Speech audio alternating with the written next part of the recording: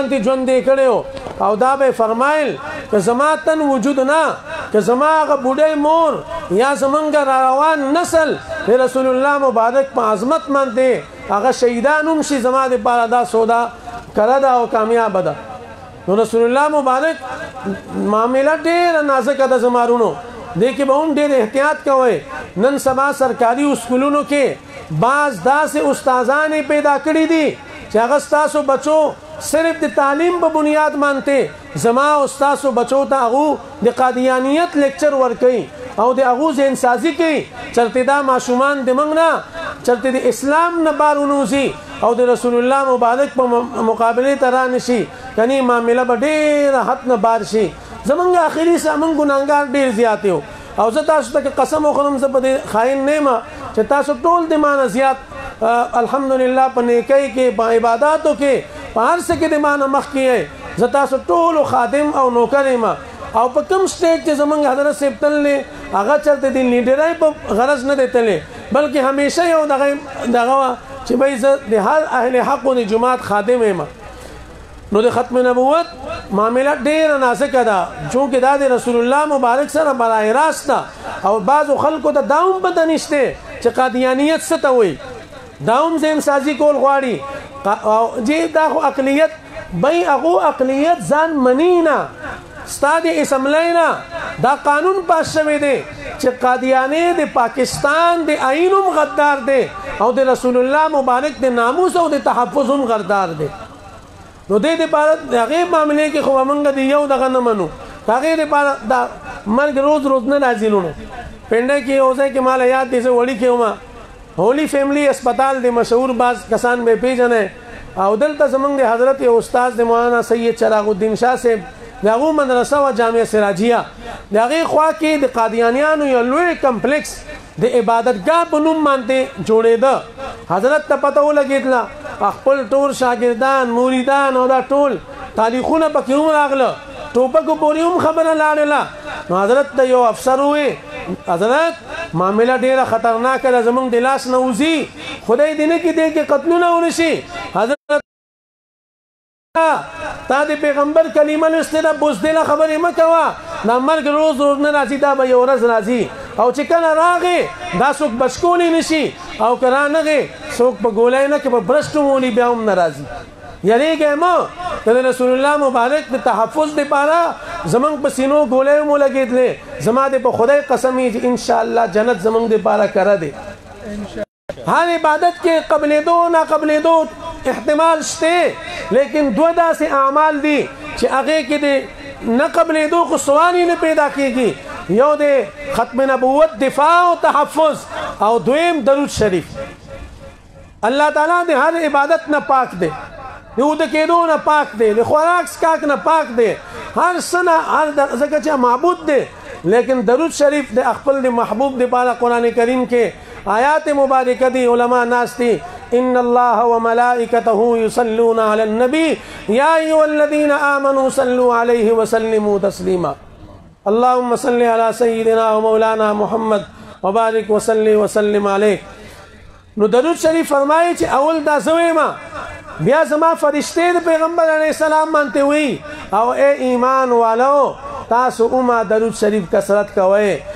او زمون حضرت ته چې الله دا مقام دا مرتبه او دا عظمت ورکړي دي هغه درې سلور سيزونو په بنیاد مانته دي یو زمونږ حضرت عاشق رسولو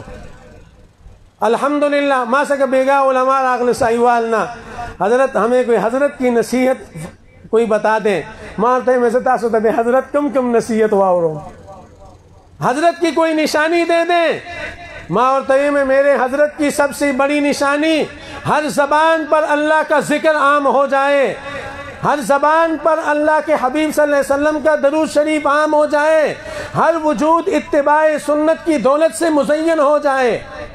مې زما د حضرت دا مشن او تحفظ ختم نبوت په هر سټیج هر میدان مانته خپل د شفاعت په غرض مانته بسې د لیډرۍ په غرض بنځه ماته یو مرګري راغی چې د حضرت سے قبر مبارک ته یو تخته جوړو متا سو ماته مضمون لیکه یو غړ مانته بس دغه لیکه د حضرت شجره نسب علمی شجره نسب او دویم خاندانی شجره نسب نو ماته تسلیکل غواړي ویجی مجاهد ختم نبوت مې دا یاد ساته زما والد صاحب چرته ځان ته مجاهد ختم نبوت نه دی ویلي بلکې همیشه په سټیج باندې خادم ختم نبوت ویلي چې زه د ختم نبوت چې کوم کار کوي د دوه خادم ما نو خیر اسلام آباد ټول علما او اجلاس په دارلوم زکریا کې وشه او ډیر موثر आवाज اوچت شه هر یو دا فیصله وکړه چې هیڅ قسم منګه د حکومت دا شرط منلو ته هرگز تیار نه یو چې روزه وي او د مسلمان لپاره روزه ډیر د عظمتونو او بیا د الله غ رحمت او برکات په دې تفصیل کې نه زموږ کې وخت هم کم دی چې د روزه مقصد څه دی په دې مانته زمونږه نیکه پیر حضرت شیخ الحدیث مولانا محمد زکریا رحمت الله علیه فضائل رمضان یو کتاب لیکل دی الله دې کی چې تاسو هغه اول ولای نو چاته چې روزي حقیقت نه معلوم الله هغه ته د روزي هغه عظمت نصیب کی روزي نیول ورته آسان کی د روزي هغه برکات ورته مخامخ کی او دغه رنګه چې څوک بیموزي بلمازي او هغه چې تبلیغ سره وخو لګي لار شي درې ورځې سه روزه او صلیخ ورځې یادې علما سره راشي په جمعات کې کی کینی هغه د دریو کالو کورس ولولي او یا راشي لک ساتي ور سره کینی نو هغه زده کی چې موس ته وای او د ایمان ایمانیاتو کې ټولو کې اهم او ټولو کې ضروری هغه موس دی ځکه چې دا په هیڅ صورت کې معافي او تلافي نشته نو دې لپاره د موز بډېر اهتمام کوي څنګه چې موز کول فرض دي دا سه موز از د کول دی اغه نه زیات اهمیت لري بعض غریبانانو ته مولانا بیان کو چې بعضو ته د الحمد هغه ترجمه هم نه ورسي بس ودرېږه خدای قبلې ان شاء الله دا فکر به هم الله سن علما او د برکت واچي درکې هغه به عزت شي او کوي جمعه سره خپل تعلق مضبوط ساتي مدرسې سره تعلق مضبوط ساتي نن چې دا تاسو ایمان بچ دی نن چې دا ستاسو عقیده بچ ده نن چې ستاسو دین بچ دی نن چې کلمه بچ ده او دا قران ستاسو بچو په سینو کې محفوظ دی او زما دی ماشومان لونو په سینو کې د رسول الله مبارک احادیث او مجموعه او لوی ذخیره نن دی هغه په زړه کې محفوظ شلا او د الله کلام قران پاک محفوظ شه دا د دې علماو د دوی د مهنت او سار نواخله تر ماسختن پوري او ماسختن نواخله تر سار پوري ساسو دی پاره در بدل ګرځي او د الله نه غواړي چندې غواړي یو یو کور ته سي چې د الله دین بچول دي راشه دا مدرسه جوړه کو او زما او تاسو خزانه هم دغه مدرسه او جمعات ته او دې سره تعاون ما کوي دا نه د چست جلسې مطلب دی بس واو دل تقریرونه ناری پکې ولګولې زنده آباد زنده آباد صرف زنده آباد پورې مساته بلکې دو سره تعاون وکړي دولس مکه پکاري زمارو رستا سمکه اقوم رکدا شپږ فوټه قبر ته مونږ سو ستا سما سي هغه دي کما دي الله جمعات دي پارا کما ديني مدرسې دي پارا یا لار دي پارا ما سمکه وقف کړه نو الله تعالی به زما د پاره دا ذریعہ آخرت او نجات ذریعہ به وګرځي نو هغه اسلام آباد کې ډېر لوی زمونږه ادارې کې د حضرت په زیر سرپرستی زیر نگرانی هغه اجلاس وشو او دمره موثر وشو چې هغه ماخام حضرت ته مفتی منیب الرحمن صاحب او دیگر د اکابر مفتی نعیم صاحب خدای دې وبخي رحمت الله علیه د هغه ټلیفون راغې او شیخ الاسلام مفتی تقی عثماني صاحب دامت برکات هم ټلیفون راغې چې ماشاء الله د پنده اسلام آباد علماو د حضرت په زیر نگرانۍ کې دمر لوی اجتماع او برپور اجتماع وکړه ان شاء الله موږ به حکومت سره دا ایس او پی زوم ته کو او جمعهتونه په هیڅ صورت کې نه بندو نو الحمدلله پورا روزه دا جمعهتونه کولاو شله نو روجه کې به حضرت بیان کو نو یو راو بللم ما زیګر سکارو نو ما ته आवाज وکړ نو چرالم لک ساته ور سره کیناستم نو دا سار دا درس به حضرت همیشه د ریاض الصالحین درس به ورکاو او ماخام دو مسخودن دوا به چا چیلته اعتکافونه کړی دي هغه ته د دې خوندونو پته ده نو هغه ګنټه ګنټه به حضرت دعا کوله نو مرګرو به هغه لایو چلوله ویډیو نه آډیو به چلوله حضرت په ویډیو ډیر سخت خپه کېده نو اوس خو الله دې معاف کړي لکه مولانا اکرام الحق صاحب مخکې و فرمایل که ډوړی ته کینو نو بیا دا مصیبت ده که باتروم ته ځو یا ادس لزو مولانا صاحب وضو فرماتے ہوئے خدای دې تاسو ته هدایت وکړي لکه آرام سره پرېږي خو خیر نو حضرت زه راوبللم ما ته یې وفرمایل چې بچیا زما دا ویډیوګانې بانک دا آډیو ځي خلک اوري بس د خدای نه دغه دوا غواړم چې الله زمونږ دا عمل دا چرته د دنیا د شهرت د نظر نشي بسترګې پټېدو پورې خبره ده او حضرت ته الله تعالی هاذ سو واضح کړی صرف موږ نه په ټوله خبره د هغه د وفات نه بعد جامع دارالهدى راولپنډۍ کې پروګرام او تعزیتي نو زه هلته لاړم د ما نه مخکې مولانا عبدالقیوم حقاني صاحب دامت برکاتهم جامع ابو هریره هغه هم هلته راوړ تشریف راوړ د هغو زیر صدارت بیمار دی دعا ورته وکړي څومره اهل حق شیخ ادریس صاحب هم بیمار دی الله دې هغه ژوند عمر کې برکت واچي څومره علما چې بیمار دي عام مسلمانان دي الله دې ول ډېر خپل دی یاد او عبادت او د دینی خدماتو لپاره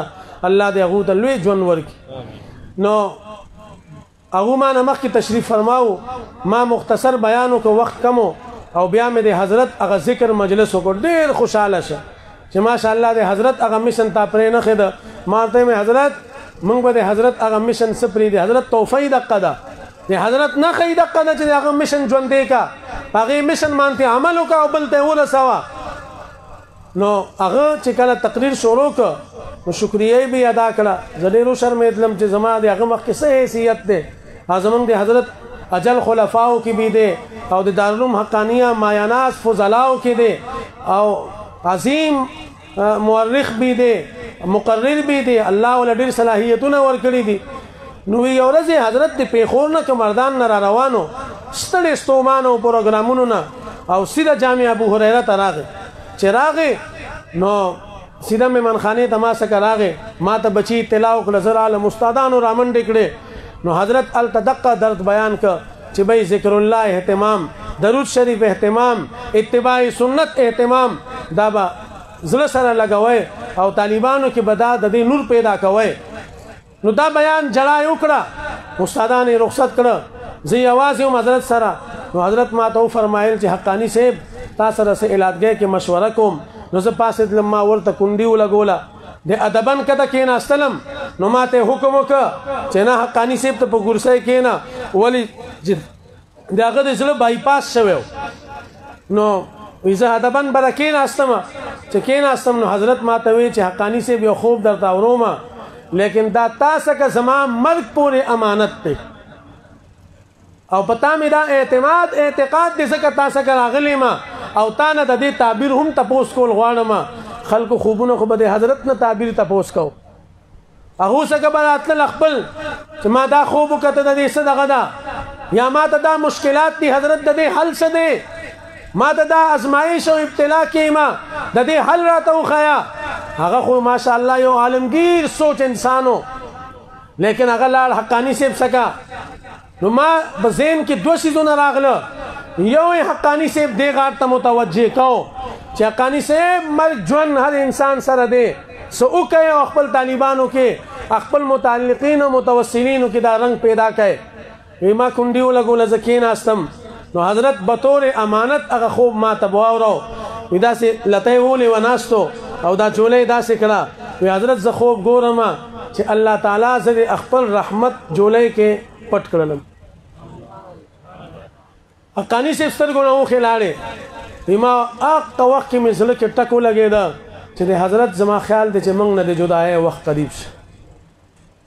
لیکن ما ولا تسلی ورکړه چې حضرت د دې خډیر خ تعبیر دی ماشاء الله دا تعبیر دی چې الله ستا آل اولاد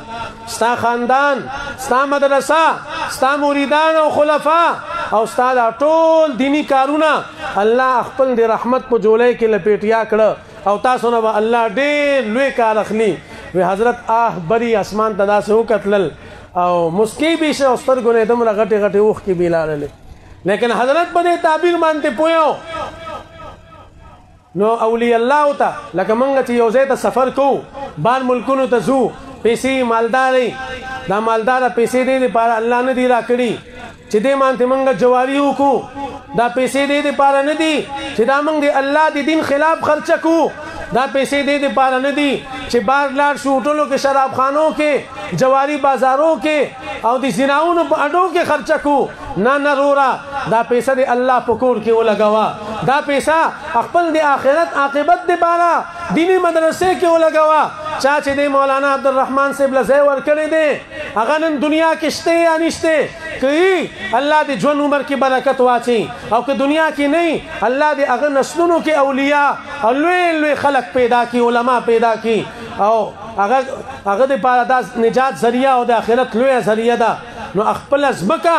خپل وجود خپل مال هغه د الله په دین کې ولګوي دا علما تاسو خیر خوا دي د دوی سره به همیشه مرسته کوي نو ان شاء الله الله بدلتا ډېر لارې کولاو کی نو ماته حضرت فرمایل چې زه د دې نډیر زیات یریږم چې دا شهرت ته زمونږه اړې هاتو را نشي نو الله دې مونږ له هغه په مشن باندې قائم او دائم ساتي نو دا چونکه دې بچو دې ماشومانو دې تقریب بخاری وخت دې نو تیر کالې دې روزې نمخ کې د علماو یو ډیر لوی وفد تقریبا 60 65 کسانو د پاکستان غټه غټه ادارې جید ادارې دارالعلوم کراچۍ جامعه الرشید او بنوری ټاون جامعه فاروقیه او دغه زمنګ د پنده اسلام آباد لاهور لوی لوی مدارس او جامع عثمانیه یغي مشران هغه د حضرت سیب رحمت الله علیه سره په هغه وفد کې تاشقند سمرقند بخارا ته لاړل نو دا تاسو ته زما ذهن کې واقعا ذکر رااله چې دا د علماو عظمت درته ځکه بیانوم چې اوس داسې حالات پیدا کیږي ستاسو او زما ذهنونه د تهذیب په اړ کې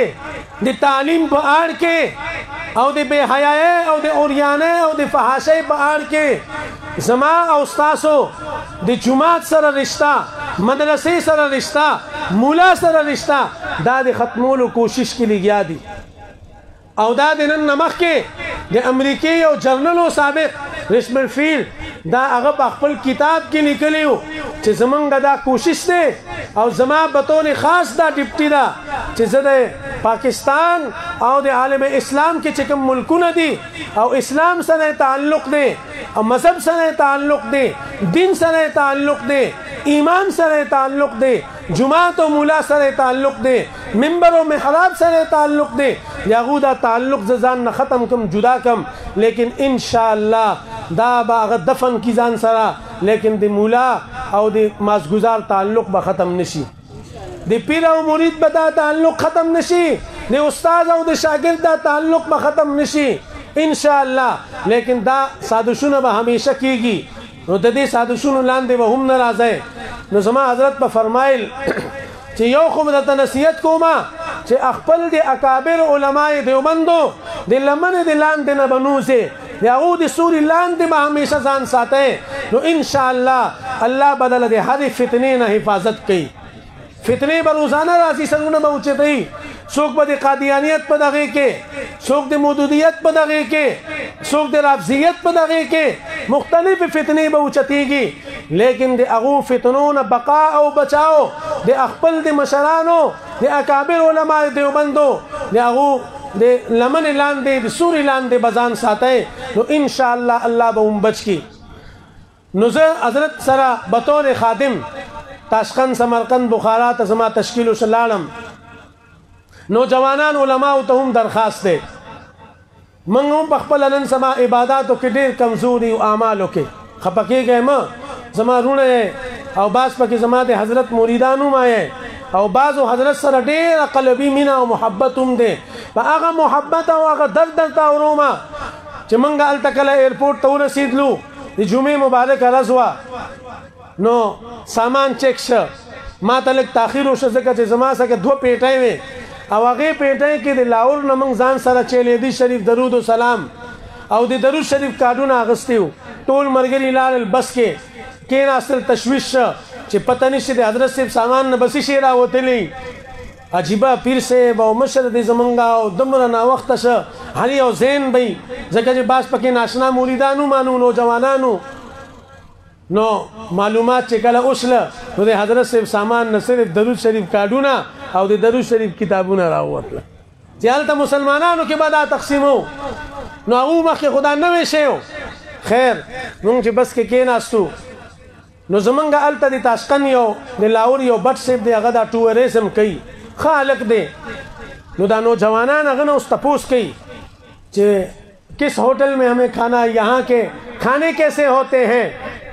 کوم هوټل کې به مونږ ډوډۍ خورو او د دوی دا تهذیب څه دی د دوی خوراکونه څه دي په دې باندې اوس باس دی حضرت سے بغیر او بل او چې کم ځای ته به مونږ تلو د تاشقند نه سمرقند ته بیا بخارا ته بیا واپسۍ کې ترمیز ته نو به دا ټرین سفر بای روډ سفر جاز سفر نو حضرت بد اگر اول دا تبوس کہو چې میرے پیارے بد صاحب یہ بتاؤ کہ ہم جن جن اولیاء اللہ کے میزارات پر جا رہے ہیں وہاں زیارت بھی ایسے اوقات متعین کرو کہ ان کی وہاں زیارت بھی ہو جائے اور ہمیں زہر اثر مغرب عشاء باجمات مساجد میں پڑھا دو پوښلې نن مونږ ته دا فکر نشته مونږ که سیل لزو مونږ ته موس فکر نشته او په دې سفر حاضر کې که زه په دې قسم اوچت کم خائن نه ما دا زما خوا کې زما ګس طرف ته سبحان الله بای ناشته د حضرت سره مدینه منورې کې مکه مکرمه کې او په بدر کې دا ډېر یو د سفرونه ال تکړې دي د او د په کور کې او یو په هر الله د حضرت غشان ته زاریان ما چې الله ولا دمر بلندیان عظمتونه ورکړي نو یو ورځ د حضرت ځان سره بوته ورک حضرت ورکشاپ ته دعا لرا شي حضرت وی چې نه ډوړې به عمل تخرمه غلطه وړي کې ونده کې ورکشاپ په صدا غي ټوله ګنګي یلتا او خیرن خچن مزدوران نو هغه بل دغه ته وختل نو هغه وا ونده کې کمره ده هغه ما خیرن خچن صدا چې ده کې ناستو زه نو حضرت نا وخت شه حضرت فرمایي چې زه ودکېږم به هم دقلته هوته هوته حضرت خدای ته وګوره ته هوټل ته زو خپل دغه ته نو حضرت نه نه نه نه و د کېګم به هم دلته بیا دا حضرت ال تپنه وته دا دوه درې مرګریو دو بار راغله چې را حضرت ته ایسی ولګاو ګرمي ده چې حضرت ودشي دوی موږ بار راوتلو لک ساته پرې وتلو چې پرې وتلو موږ چې حضرت آرام وکي ستړي دي رزه نو چې ګورم نو لک سات نه بعد زمونږ سترګه کولا وسله چې ګورم نو اقا ورکشاپ هغه کمرې کې حضرت سے مصلا چول الله خدای ته په تهجد او سجدو کې سلګو مانځل زما عزتمندو هغه له چې الله دا مقام دا مرتبه ورکړی دا یو پیره یو ځل یو مولوی سي براغه زو سره ناستم په وړه کمره کې نو حضرت ته فرمایي چې حضرت اللہ تعالیٰ نے آپ کو بڑی ہمت بڑی قوت اور آپ کا ایک روب اور دب دبا اللہ نے ہر ایک کے اوپر قائم کیا ہوا ہے اس کا راز ذرا مجھے بتا دیں حضرت کو شہرت نے بزان ہمیشہ ساتھ اسے انہوں خاموشی اختیار کرا ماغت اشارہ سے شا نو هغه غلې کېناسته وخت تېرېده سار نه ماسپخین شه ماسپخین موز جمعات کې وکمنګا او هغه نه بعد ختم خواجګان منزل ډوډۍ نو ډوډۍ ته چې کله راغې زوما غو حضرت سیبو یو خادم بلو نو ډوډۍ چې خپل نه غته چې تنو حضرت سیب کېنو میرے پیارے مولوی صاحب بیٹھ جاؤ نو عجیب خبره ورته فرمایله یو ورته وې چې په ظاهر کې او باطن کې خپل رب ناراض نه کې په ظاهر او باطن کې خپل رب سره به معاملې صفا ساتي چې چا به بیا پدې کې پروا نه کوي او دوی مې ورته وې چې خپل خلوت کو جلوت سے بهتر بنا دو خپل شپه د ورځ نه زیاته قیمتي جوړه کا کوم لاسونه چې د شپې الله مخ کې غوړيږي الله د مخلوق مخ کې دغه غیرت تا ګواره نه کوي چې دغه د مخلوق مخ کې د دې مولا سه د دې امی سه د دې اجي سه لاسونه دغه مخ کې وغوړي خدای ته خو سوال وکا دوستر کې خو الته وبیا بیا ته ګوره چې د ژوند سم مزيدي نو الله بچل ته هم تاکوز نه کی همیشه به دی اوچت کی نو دا ما سفر او حضر کې خپل والد صاحب سره ما ډیر اسماعیل خان نه ډیر غازی خان نه ملتان نه هغه ډایو بس کې مرګرو ورته وي یو پیر ډیر عجیب خبره وکم مونږ خو خو ګاډي ځان ته ګورو لا واړو واړیو وخت سے پہلے نہیں مقدر سے زیادہ نہیں وخت به راشي وخت سه پهلې نهي مقدر سه زیاده نهي نو یو پیرا زه لاور نه را روان وم ورسره هلته یو حضرت ډیر مخلص مرګري او مرید یو حاجی فاروق مرحوم وفات شری اف زباد او لوی تاجر او بزنسمن او بنانت روډ باندې لوی دکانونه نو هغه راغی حضرت صاحب څخه سبا التنه به یو ټرین راته سار و بجې راول پنده ته هغه بدلته 12 بجې نو حضرت ته به داسې وخت کې به سفر کو چې موږ ټیم پکې دغه نشي سفر تعین به داسې کو نو هغه دوه ټیکټ راغلی یو سما یو د حضرت سے مسخوتن حضرت یہ ٹکٹ ہیں لیکن یہ بزنس کلاس کے ہیں هغه ټرین کې دوه بوکې داسي چې هغه بزنسي لوګو دي سیټونه هغه ټیر کنډیشنې پکې ناشته ماشته ورکی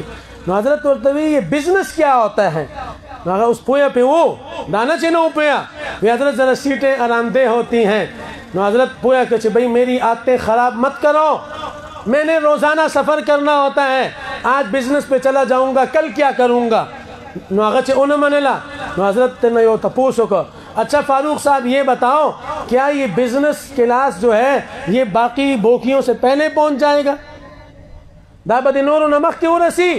نو هغه ورته چې حضرت داسې خو به نه نو ورته چې دا واپس کا او مال عام ټیکټ واخلا راړه عام خلکو سره بزم هغه ټیکټ واپس کړي خیر مونږ تاشکن تلاړو چل تلاړو نو مازیګر موږ مونږ وک نو مونږ ته یو فرمایل مقامی دغه چې بای د تاشکند چې کوم مفتی اعظم دی هغه سره ملاقات بي دي او عقل ته مصحف عثماني د حضرت عثمان رضی الله تعالی عنہ سوک عثمان مونږ ته هغه سیرت هم معلوم دل پکار دي د رسول الله مبارک دولونه زنورین ورته ونی وی چې دو نورو والا دو لونه مبارکه د حضرت عثمان په حق دی نکاح کی دي او دای ورته هم فرمایلو که زما چرته نورې لونه وي نو ما به یو یو یو وفات شله بیا ورته بل په نکاح کې ورکړه او هغه وفات شله نو رسول الله مبارک فرمایل که زما نورې لونه وي نو ما به عثمان لا یو یو دقه شان ته په نکاح کولې حضرت عثمان قدر او قیمت رسول الله مبارک ته هم معلومه چې د جهاد په وخت کې او د غریبانو او د یتیمانو فرمان د لاس خېدو په وخت کې عثمان له الله مال ورکړو او هغه په پاغي مانته خرچ کاو نو حضرت عثمان رضی الله تعالی نن زمونږ فوجیان رونه په بادل مانته هم د اندوانو د لاس شهیدان کیږي الله دې حفاظت وکړي الله دې هغه ثابت قدمه کړي او الله دې د هغه دبدبه په اندوانو مانته واچي او الله کوم چې زمونږ د فوج هغه موټو ده هغه مونږ ګران دی ایمان تقوا جهاد فی سبیل الله خدای دا سلامت ساتي چې جهاد دا جذبه د ایمانی غیرت او دا تقوا الله دا په دوه کې په مونږ ټولو کې قائم او دائم ساتي او د دوی حفاظت وکړي بازو شهیدانو با زمکه گواہی ورکی پرز د قیامت چې دا د خپل د وطن د دفاع د بار شهیدان شوی دي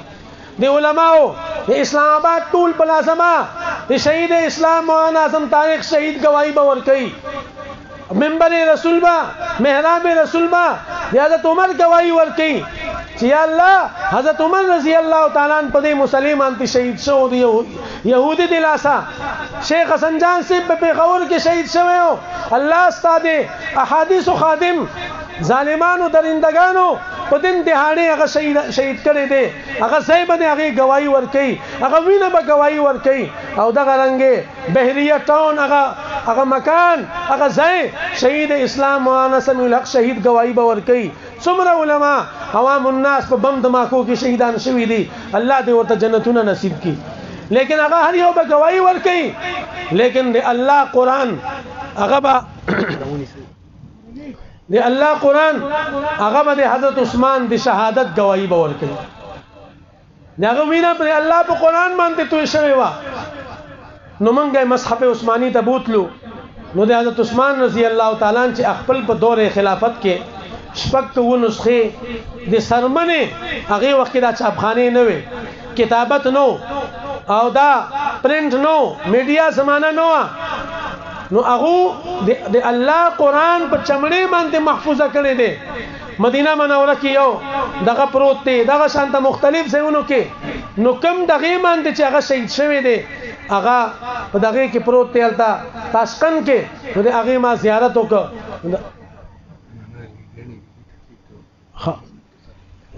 نو هغه د پاره نو دا قران پاک دا تسلسل دا موږ څخه دا سینه دی راغلی بلکې دې باندې ډېر مهنت شوه دی حضرات علما او کرام په مهنت کړي دي مفسرین په مهنت کړي دي او وخت هم کم دی ګرمي هم ده او ماسپخین وخت هم نږدې دی ان شاء الله بیا کله الله تعالی موقع راکړه نو بیا به ان شاء الله حاضری کوم نو زمونږ د حضرت یو جلسو کې د تلو یو مقصد به هغه بداو چې دا دونه مونږه د رسول الله مبارک سیرت بیانو او د رسول الله مبارک عظمت بیانو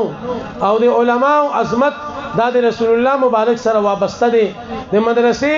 عزت او برکت د جماعت عزت او برکت دا رسول الله مبارک سره وابسته دي نو حضرت په جیب کې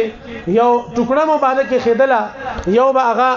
یو طرف ته غلاف او د کعبۃ الله شریف او بل طرف ته به غلاف د روزه اقدس دنه چې کوم غلاف دا په 15 کالو نه بعد او حضرت د دې شیزونو شوق او د دنیا شوق نو ورته نو هغه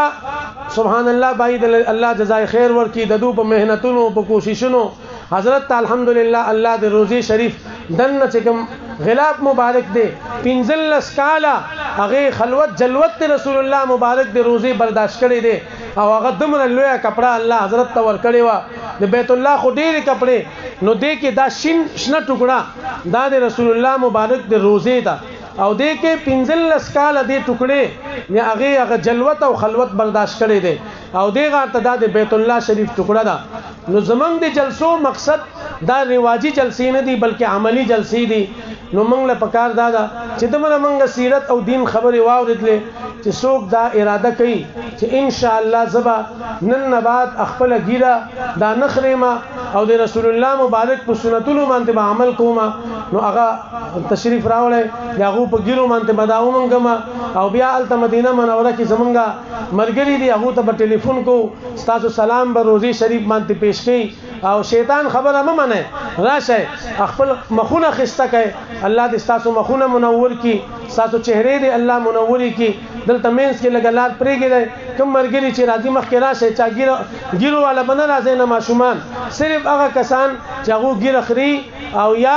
ګیره کوتریا کوي نو هغه خدمت کې گزارش ته راشه ځان مد اخکوي د رسول الله مبارک په دین باندې عمل وکړي په سیرت باندې عمل وکړي چې الله دې تاسو نه او د موږ ټولو نه راضي شي